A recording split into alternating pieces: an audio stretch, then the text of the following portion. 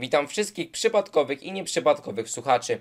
Ja nazywam się Michał Grzela, a to jest mój pierwszy podcast na portalu YouTube. Zanim przejdziemy do realizacji samego podcastu, którego tematyką są skoki narciarskie i turniej czterech skoczni, czyli jedna z najważniejszych imprez, a być może nawet najważniejsza impreza e, sezonu 2018-2019.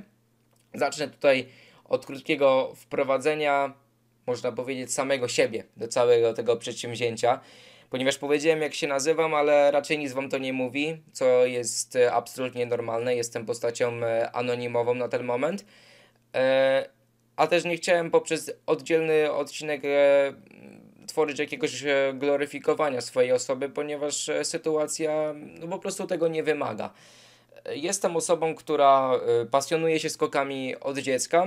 Nie jestem wielkim specjalistą, bo można powiedzieć, że ograniczam się do oglądania Pucharu Świata i bacznego śledzenia Pucharu Kontynentalnego oraz, rywalizacji kobiet na najwyższym poziomie. E, ale moją pasją jest również pisanie. E, pisanie e, o skokach, a także o piłce, o czym być może również będę wspominał. Zajmuję się piłką młodzieżową, a jeśli chodzi o pisanie o skokach, tutaj uskuteczniam, próbuję właściwie działać w tym zakresie E, na facebookowym blogu, który stworzyłem sam. On nazywa się ten blog Odskocznia, tutaj liczą się tylko skoki. Być może sytuacja została w tym momencie nieco rozjaśniona. rozjaśniona. E, tam sobie działam, tam zdarzy mi się coś napisać, czasami dłuższego, czasami krótszego.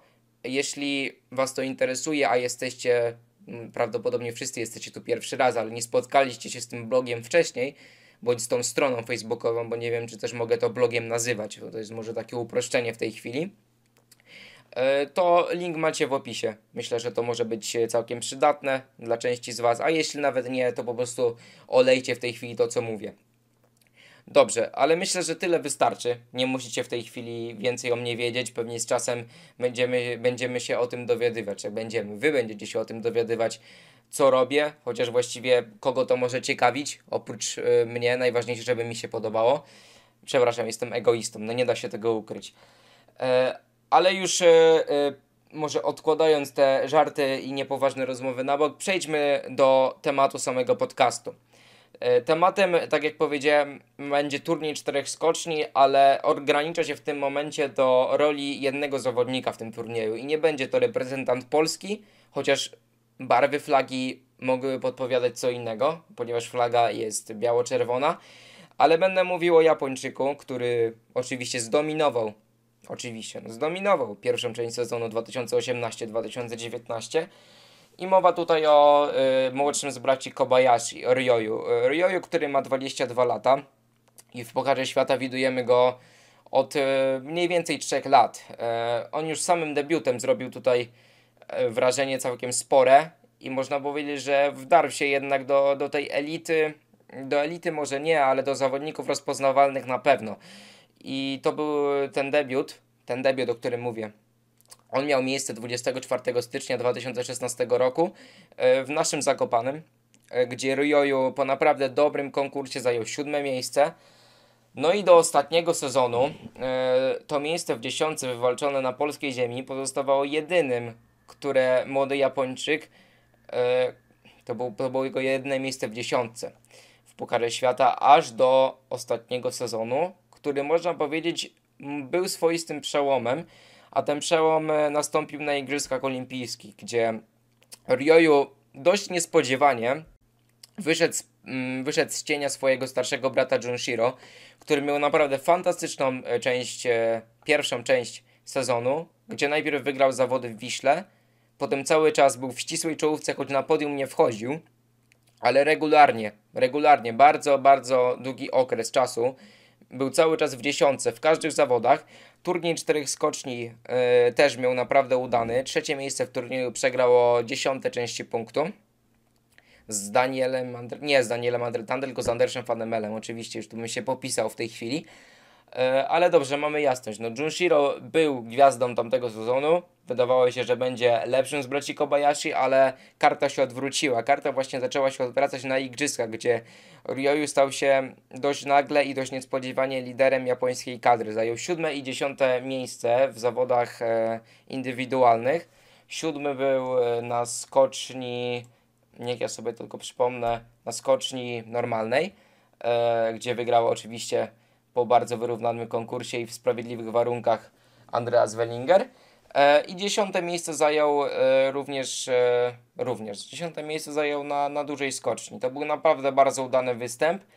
I po tym występie e, Rioju wyśrubował jeszcze życiówkę w Pucharze Świata po samym powrocie, w Lachti zajmując szóste miejsce. Także poprawił się o jedną pozycję względem Zakopanego, w, o którym wspominałem to już na samym początku. No i to można powiedzieć jest taka geneza, geneza tych jego, tych jego dobrych skoków w tym momencie. Dlaczego to mówię? Dlatego, że Ryoyu udzielił kilka dni temu dla japońskiej telewizji wywiadu, w którym powiedział, że na igrzyskach skakał dobrze, ale nie był w stanie rywalizować o zwycięstwo. I to go skłoniło do być może cięższej, być może bardziej rzetelnej pracy e, nad swoimi skokami. Te efekty tej pracy widzieliśmy już latem. W drugiej, w drugiej części tego letniego sezonu, tych skoków na Igielicie, e, najpierw było podwójne zwycięstwo w Hakubie, w naprawdę fantastycznym stylu. Tam była duża przewaga, to był po prostu protokół stoch e, po igrzyskach. Ja bym to w ten sposób nazwał, bo on tam wygrywał z ogromną przewagą, były to wyraźne zwycięstwa i nie było żadnych wątpliwości, kto w Hakubie był najlepszy, a był tą osobą właśnie Ryoyu Kobayashi, o którym tutaj rozmawiamy. E, Ryoyu tam wygrał, a teraz właściwie się dowiedzieliśmy, może albo do, dowiadujemy się cały czas, że e, to wszystko te, te jego skoki w tym momencie nabrały lepszej jakości ze względu na pozycję dojazdową, która stała, która stała się dla niego najważniejszym aspektem do poprawienia i on ten aspekt poprawił na tyle dobrze, że zimą stał się zawodnik, z zawodnika średniego z aspiracjami z aspiracjami, z potencjałem do bycia w czołówce stał się zawodnikiem najlepszym, bo tak to trzeba otwarcie powiedzieć. Jeśli w siedmiu konkursach cztery razy wygrywasz, dwa razy jesteś trzeci, tylko raz jesteś siódmy, czyli raz jesteś tylko poza podium, to jesteś zawodnikiem najlepszym i jest to absolutnie nie do podważenia. Nie da się tego podważyć i kropka. Także trzeba pamiętać, że praca Ryoyu zaczęła się latem, tak jak każdego skoczka, ale Ryoyu tą pracę wykonał świetnie i już przed sezonem yy, Japo japońscy nie dziennikarze, aczkolwiek któryś z, z zawodników, chyba to był Okabe, który twierdził, że Ryoyu jest w stanie wygrywać konkursy Pucharu Świata i wtedy się z niego podśmiewano. Teraz już tych śmiechów nie, nie słychać jest to całkowicie normalne, ponieważ Ryoyu Kobayashi jest głównym faworytem turnieju czterech skoczni. Jednak to, co chciałbym w tym momencie tutaj e, poruszyć, to co dla mnie jest najważniejsze, to jest e, fakt, czy Ryoyu faktycznie, faktycznie ten turniej jest w stanie wygrać bo pojawiają się tutaj różne spekulacje, że Ryoyu już miał w ogóle w Engelbergu, już w Niżnym Tagile miał nie być w formie, a cały czas ta forma, nawet jeśli pojawia się dzień kryzysu, ona cały czas w nim jest i to jest e, forma na tyle duża, że w tym momencie nikt nie jest w stanie z nim rywalizować. Gdzieś trafiłem, e, gdzieś trafiłem, powiedzmy sobie wprost, gdzie trafiłem. Na awangardzie skoków narciarskich trafiłem na zestawienie pokazujące e, jaką przewagę mieli liderzy Pucharu Świata kilku ostatnich edycji e, nad drugim zawodnikiem przed startem turnieju czterech skoczni. No i tam było, można powiedzieć, uprawiana była propaganda z liczbami, ponieważ e, ma najmniejszą przewagę e, z ostatnich kilku edycji. Chyba wyjąwszy, nie wiem, sezon może 14-15, gdzie Fanemel miał bardzo małą przewagę. I to był dość przypadkowy lider Pucharu Świata, to się nie ma co oszukiwać. Ryoyu ma 111 e, punktów, jeśli dobrze pamiętam, nad Piotrkiem Żyłem. I tutaj pojawia się taka kwestia, że Ryoyu ma swoistego pecha. Żaden z jego poprzedników, można powiedzieć, nie miał tak dobrze i tak regularnie punktującego rywala, który miałby stratę 100, 111 punktów, bo to jest strata na przestrzeni sezonu, całego sezonu, który jeszcze tak naprawdę jest w tym momencie dopiero w drugiej fazie z, spośród kilku. E, no jest to strata po prostu mała. E, tu chodzi przede wszystkim o, o tych dominatorów, jak Peter Prewc, jak Domen Prewc, który świetnie chodzi, wchodził w sezon 16-17, jak Thomas Morgenstern w sezonie 10-11, e, choć on akurat, nie wiem, nie wiem, zdaje mi się, że miał raczej większą przewagę, ale w tym momencie nie dam sobie za to uciąć głowy. Znaczy na pewno miał większą przewagę, to w ogóle nie ma, nie ma co do tego wątpliwości, że zamotałem się w swoich wypowiedziach Także proszę może nie o wyrozumiałość, ale po prostu o szczerą ocenę tego, co tutaj, tutaj tworzę, tych moich wypocin. Ale rok temu mamy przykład Richarda Freitaga, który był naprawdę w świetnej formie. W siedmiu konkursach zgromadził 550 punktów i on miał e, prawie nawet ponad, ponad 150 punktów przewagi nad drugim Andrasem Bellingerem, kolegą z kadry. Także to jest przewaga większa, która świadczyłaby o tym, że, że Freitag jest w lepszej formie niż Kobayashi. No otóż nie jest w lepszej formie, tylko proszę sobie zerknąć w jakiej formie jest Żyła, który jest wiceliderem w tej chwili, a w jakiej formie był Wellinger. To są zupełnie dwie inne skale, można powiedzieć. Wellinger był w formie dobrej, a Żyła jest w formie bardzo dobrej. On ma 5 miejsc na podium, z czego 3 to są drugie miejsca, 2 trzecie, a oprócz tego ma jeszcze piąte i szóste miejsce. To są miejsca fantastyczne, a dzięki temu, że Rioju też miał konkurs, w którym skończył je siódmy, e, miał też konkurs, gdzie był trzeci, a Żyła był drugi, to dzięki takiemu obrotowi spraw ta strata jest naprawdę relatywnie niewielka i wydaje się, że Rioju nie jest taki mocny. No ciężko tutaj mówić, że Rioju nie jest e, taki mocny, skoro facet mimo to, że pierwszego dnia w Engelbergu pierwszego dnia w Engelbergu skakał fantastycznie, to były kwalifikacje. Drugiego dnia. Drugiego dnia przychodzi jakiś lekki kryzys i już zaczyna się, nie, nie, nie wiem jak to wyglądało w innych, w innych mediach społecznościowych, ale na Facebooku, przynajmniej wśród polskich fanów, już zaczyna się teoria, że Kobayashi puchnie. Przychodzi konkurs niedzielny, Kobayashi wygrywa bez, bezdyskusyjnie. Bezdyskusyjnie tam nie było dyskusji, kto był najlepszy. Zgarnął zasłużenie 100 punktów do y, klasyfikacji generalnej. Y, no i wyrósł na wyrósł. Potwierdził tylko to, że, że jest głównym faworytem do zgarnięcia turnieju czterech, do zgarnięcia Złotego Orła za turniej czterech skoczni. I wydaje mi się, że to jest naprawdę, naprawdę, naprawdę realne. E, choć rozmawiamy, dziś mamy 21 grudnia i kwalifikacje w Oberstdorfie są dopiero za 8 dni. Także być może coś się zmieni. No, jakąś odpowiedź dałby nam być może konkurs w Sapporo, który miał się odbyć jutro, ale z braku śniegu został przełożony. Tam miała wystartować japońska kadra A, właśnie z Kobayashim na czele, ale nic się nie dowiemy, tutaj można powiedzieć. Aczkolwiek naprawdę ja będę mocno zaskoczony, jeśli Ryoyu yy, może nie o tyle nie wygra tego turnieju, bo może się pojawić zawodnik yy, w formie naprawdę fantastycznej nie będę zdziwiony tym, jeśli, jeśli on tego nie wygra, ale będę zdziwiony, jeśli nie będzie o to zwycięstwo walczył do ostatniego konkursu w Bischofshofen. Naprawdę, no, jego forma jest, jest fantastyczna i mimo, że przydarzają mu się jakieś gorsze dni, to on jest, jest w stanie w jednym konkursie wypracować tak dużą przewagę, na przykład jak to było w Kusamo w drugim konkursie, gdzie musiał skoczyć 130 kilka metrów, a skoczył 147,5 z niższej platformy, Także to było naprawdę pokaz siły i, i, jego stać cały czas na coś takiego, żeby odrobić całą stratę w jednym konkursie. Dlatego wydaje mi się, że on w grze o Złotego Orła będzie do ostatniego skoku. Kto mu może zagrozić, zobaczymy, ale tutaj też pojawiają się takie teorie, że Ryo jest za młody, że on spuchnie, że nie wytrzyma psychicznie, nigdzie nie zmagał się z taką presją. E, drodzy Państwo, ja, e, ja tylko chciałbym przypomnieć, w jakim wieku był Adam Małysz, e, mając ten fantastyczny sezon, gdzie został wicemistrzem świata najpierw, a potem mistrzem świata w Lachti, zgarnął kryształową kulę, wcześniej turniej czterech skoczni. Najlepszy sezon Adama w karierze. Mm, ten najlepszy okres, to był początek tego najlepszego okresu. I wówczas Adam był 23-letnim chłopakiem. I to jest naprawdę nieduża różnica między nim a Rioju a ostatnie lata pokazują, że ta młodość, która być może łączy się mm, z przebojowością, y, potrafi być kluczem do sukcesu w skokach i mamy wiele takich przykładów. Co prawda ci zawodnicy często potem właśnie mm, dojrzewając tracą mm, tą być może młodzieńczą werwę, nie są już tak dobrzy jak byli za młodu, co, nie, co, co jednak jest w tym momencie nieważne, tak? ponieważ Joro jest młody teraz i przede wszystkim to, co wydaje mi się, że wyróżnia go spośród y, tego młodego pokolenia, które w ostatnich, w ostatnich e, latach było na fali, e, to jest ta radość, e, którą on czerpie z tych skoków. Potrafi się chłopak cieszyć, naprawdę, bo to widać po tych skokach, że mu to sprawia totalną frajdę, robi to na super luzie.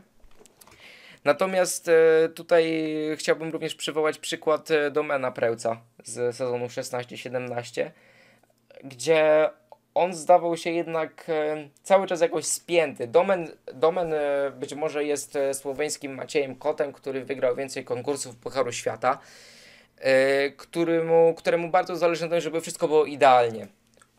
Jednak tak, tak mi się zdawało, że było coś, coś w tym takiego, że Domen chciał, żeby to wszystko funkcjonowało perfekcyjnie. Ryoyo natomiast, nawet jeśli coś nie wyjdzie, to jest spokojny, stonowany, jest na tyle stonowany i spokojny, o czym tutaj w tym momencie mówię, że jest w stanie w ciągu kilku godzin wrócić do tych, można powiedzieć, podstaw, które sobie zbudował i znów skakać w swojej lidze. Także to jest naprawdę coś charakterystycznego. To, co też myślę faworyzuje Rioju w tym wypadku, yy, no to jest ten Engelberg, o którym tutaj rozmawiamy. Chłopak był yy, trzeci, i, yy, siódmy i pierwszy. Nie trzeci i pierwszy, tylko siódmy i pierwszy w Engelbergu. Ostatnim zawodnikiem, który wygrał w Engelbergu i który potem odniósł, e, odniósł triumf w turnieju czterech skoczni jest oczywiście Peter Preutz, który w sezonie 15 i 16 notabene wygrał oba konkursy w Szwajcarii, a potem przerwał na chwilę swoją serię zwycięstw w Oberstdorfie. Tam było taniec z belkami, który faworyzował Freunda. Nie wiem, czy umyślnie, nie umyślnie, ja pomijam tę kwestię. W każdym razie Freund tam wygrał, Preutz był trzeci, potem wygrał kolejne trzy konkursy. Innym takim skoczkiem, który wygrał ostatni konkurs przed e, turniejem e, i potem e, sam turniej jest Schlierencauer. To było w sezonie 12-13. On tam był liderem Pucharu Świata przed startem właśnie turnieju czterech skoczni. Także można tych analogii się doszukiwać naprawdę sporo. I moim zdaniem to działa na korzyść Ryoju, który udowodnił sobie też tym drugim, trzecim dniem w Engelbergu, jeśli liczyć kwalifikacje, a drugim konkursowym, y, że on cały czas skacze na naprawdę fantastycznym poziomie, że to są skoki bardzo dobre, świetne technicznie, że ta pozycja dojazdowa, którą wypracował e, latem i nad którą zapewne cały czas pracuje nad jej detalami zimą, ona cały czas funkcjonuje i daje mu tą przewagę nad, nad resztą stawki. Także no, konkluzja moja jest prosta. No, Ryoyu będzie się liczyło zwycięstwo i trzeba się z tym pogodzić. E, chociaż to też brzmi śmiesznie. To, to w tym momencie też e, jest nawiązanie do, do tego, co, co zauważyłem, jest dość popularne. Może u polskich kibiców, może u kibiców na całym świecie, ale gdy pojawia się zawodnik, e, można powiedzieć znikąd, młody zawodnik, który do tej pory nie liczył się w, w światowych skokach, nie walczył o jakieś sukcesy Pojawia się Japończyk, e, który jest e, osobą dla niektórych anonimową, dla tych, którzy można powiedzieć skoki oglądają tylko w niedzielę przy obiadku, dla innych już nie, bo jednak jest to brązowy medalista Mistrzostw Świata Juniorów i to podwójny e, z Rasnowa z 2016 roku. Jest to zawodnik, który był dwa razy w dziesiątce na igrzyskach. Ale w każdym razie przychodzi taki młody, zaczyna wygrywać i ludzie doszukują się już może nie o tyle spisków, ale liczą cały czas na to, że oj zaraz ten Kobayashi obyś zaczął skakać słabiej, bo takie, takie osoby też się pojawiają. No proszę Państwa, no takiego czegoś w tym momencie wydaje mi się, że jest to absolutnie zbyteczne. No Ryoyu jest po prostu w tym momencie zawodnikiem e, poza zasięgiem reszty stawki. Jest to zawodnik najlepszy i trzeba mu oddać, że jest w fantastycznej formie. On nie wygrywa konkursów przypadkowo, a dzięki temu, że nie wygrywał przypadkowo, moim zdaniem zaskarbia sobie, sym, powinien przynajmniej zaskarbiać sobie sympatię kibiców z całego świata, bo ja uwielbiam doceniać sportowców, którzy mają klasę, a Ryoyu ma klasę, co pokazuje, jak większość Japończyków, żeby nie powiedzieć wszyscy. Oni naprawdę są dobrze wychowani, to po pierwsze, a po drugie szanują e, przeciwników, a sam Ryoyu jako jeszcze młody skoczek, w tych starszych, tutaj w tym mówię przede wszystkim, tutaj myślę o Kamilu, Gdzieś ta wypowiedź chyba padła na którejś konferencji, że Ryoyu powiedział, że Kamil jest jego idolem i być może powiedział to na pokaz. Nawet jeśli powiedział to na pokaz, w co naprawdę wątpię, bo Kamil może być idolem dla takiego Ryoyu, e, no to jednak pokazuje, że, że jest to zawodnik, który, który ma, ma ten system wartości e, na poziomie prawdziwego mistrza, mimo tego, że tym mistrzem jeszcze nie jest. No bo już nie, niejednokrotnie byliśmy świadkami przypadków, gdzie kilka konkursów Pucharu Świata nie oznaczało, że potem będziesz wielkim skoczkiem. Mówię, kilko, kilka konkursów wygranych. I tak może być też w przypadku Ryoyu, ale jednak ja w to wątpię. Ryoyu chciałby być pierwszym Japończykiem, który wygra kryształową kulę. Jeśli e, Ryoyu, jeśli kryształową kulę, kryształowa kula ma nie paść łupem Polaka, to chciałbym, żeby padła łupem takiego Japończyka, który, który naprawdę jest powiewem świeżości w tej czołówce. Tych powiewów świeżości mamy w tym roku du dużo, bo jest i Anti-Alto, który tutaj jest raczej szeroka już e, ta czołówka, szeroko pojęta, bo on dwa razy w dziesiątce tylko, ale jest też Jewgeni Klimow, który mimo tego kryzysu po zwycięstwie w Wiśle gdzieś się odbudował i znowu i w niższym Tagile i w Engelbergu skakał naprawdę dobrze. E, także to naprawdę jest fajne, ale ten Ryoyu jest e, w, tym, w tym czubie, można powiedzieć, tego, tej czołówki jest e, absolutnie czymś nowym i czymś być może też niespotykanym od naprawdę dawna. Że z zawodnika, którego uznawało się za jakiś talent, po cichu w przyszłości liczyło na niego, czy to w Japonii, czy jeśli jest sympatykiem właśnie skoczków z tego kraju, gdzieś się na niego liczyło, on nagle wskakuje na pozycję numer jeden, tak? Ma to pole position yy, i, i w tym momencie jest faworytem do, do, do tego zwycięstwa w turnieju 4 skoczni, jest faworytem każdych kolejnych zawodów, tak bym to ujął. Bo chłopak wygrywa i serie, treningowe, i yy, kwalifikacje, i jest najlepszy w pierwszej i w drugiej serii. Także naprawdę tych, e, tych małych takich sukcesów, które składają się na duży sukces, u niego jest dużo. I naprawdę doceniam jego ciężką pracę, doceniam to, jak to wszystko wygląda. Przede wszystkim doceniam jego podejście, bo podejście Japończyków jest dla mnie fantastyczne. Oni mają też się od kogo uczyć, bo ci weterani, choć niektórych mogą już denerwować i mnie czasami denerwują tym, że siedzą w kadrze. Inna sprawa, że trochę ciężko znaleźć osoby, które skoczków, którymi można by ich zastąpić to jednak oni, ci młodzi się mogą naprawdę dużo nauczyć i, i tutaj nie mówię tylko o kwestiach sportowych, chociaż e, chodzą głosy, że Noriaki Kasai maczał swoje palce w, w poprawie pozycji dojazdowej, która decyduje o jakościach skokach, jako, jakości skoków w Rioju, e, że on w tym maczał palce, chodzą takie suche. E, ale mówię tu przede wszystkim też o podejściu takim mentalnym, o tym szacunku, który oni też wynoszą na pewno z domu, a który jest utwierdzo, utwierdzany, jest e, można powiedzieć, te fundamenty, które już mają, są nadbudowywane solidną konstrukcją i, i to naprawdę jest fantastyczne. Także jeśli chodzi o Ryoyu Kobayashiego, faworyt numer jeden, który, który na pewno dla mnie będzie w trójce turnieju czterech skoczni, a, a, ale też na pewno trzeba poczekać w tym, no tutaj mówię na pewno będzie w trójce, a potem znowu dodaję, że na pewno trzeba poczekać.